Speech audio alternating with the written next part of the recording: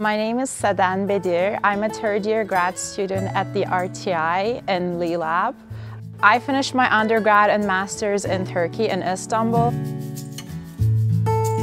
I am interested in how we can use directed evolution to engineer new RNA sequences. I am interested in synthetic biology.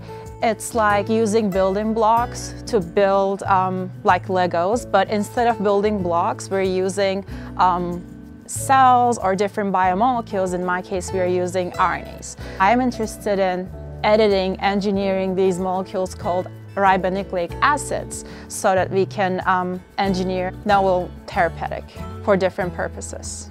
There are different diseases that are not uh, druggable. For example, some diseases can't really be targeted by conventional um, protein inhibitors. So RNA therapeutics could serve as a really promising strategy there so that we could actually um, drug the undruggable targets.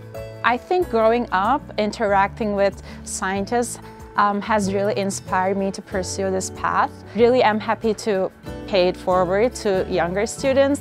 I think I love all science in general, physics, chemistry, biology, but the aspect of synthetic biology has really intrigued me. The fact that we could modify our molecules and our cells to cure diseases or even do some other things to help the society. So I found it very cool and very exciting and that's what I'm here.